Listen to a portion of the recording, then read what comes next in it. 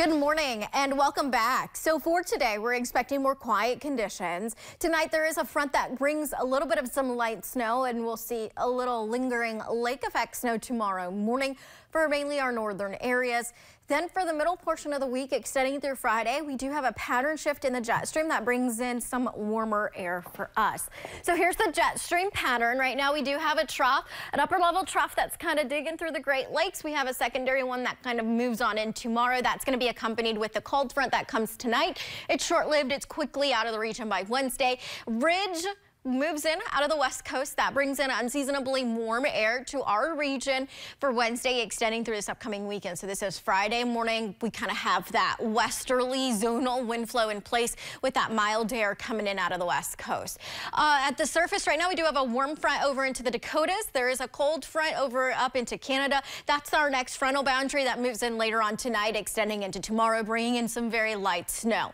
As far as this morning, we're starting off with some cloudy skies. Just a few uh, lingering uh, snow showers towards the far northeastern areas of the UP. That will continue to taper off as winds shift throughout the morning, and becoming southwesterly. So this is midday today. By that point in time, wind flow will be out of the southwest. Then later on tonight, that frontal boundary starts to approach us. Some light snow over towards the Keweenaw. This is 9:30 tonight, and we're expecting that front to have some scattered snow showers along the frontal boundary during the overnight hours. Following that, some cooler air moves through, and that'll help with some lingering lake effect snow into the Keweenaw.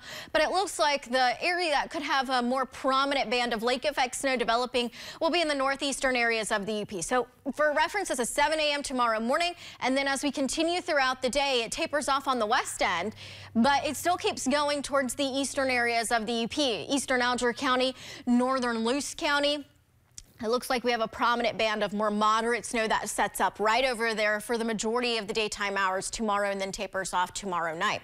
Elsewhere, it's going to be just a bit of a windy day with some cloud cover. As we head towards Wednesday, we start to see some sunshine develop, and it looks like Thursday is going to be a warmer day with some sunny skies. As far as snowfall for tonight extending into tomorrow, this is uh, not too impressive. A couple of inches of snow over towards the northwest and western areas of the UP. But that band of lake effect that keeps going towards the north northeastern areas, our models are showing it could exceed three inches of snow out there, potentially near five inches. Again, it's if that band decides to set up right over those areas and continues throughout the bulk of the daytime hours tomorrow.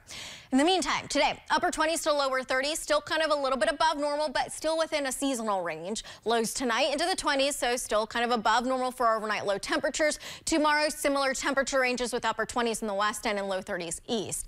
It is also going to be a windy one tomorrow, especially if you're in the Keweenaw. Wind flow will be out of the northwest behind that frontal boundary with some lake effect, and winds will gust around 30 to 35 miles per hour, briefly even pushing around 40 miles per hour there. But most of us will have ranges of around 30 miles per hour for wind gusts tomorrow throughout the daytime hours. Here's a look at your extended forecast. You can see that Thursday is going to be a nice day, some sunny skies, warmer as well as breezy. And then another disturbance comes in on Friday with the warmer air. It's mainly going to be rain mixed in with